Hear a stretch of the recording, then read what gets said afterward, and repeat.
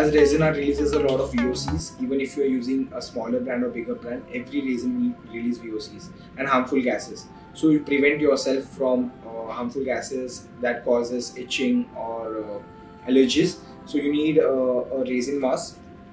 This is a 3M mask which is available on Amazon. This is 3M6003 and uh, this comes with two cartridges. Every six or seven months you have to change these cartridges and uh, this is a must buy and it's very important that you use such masks.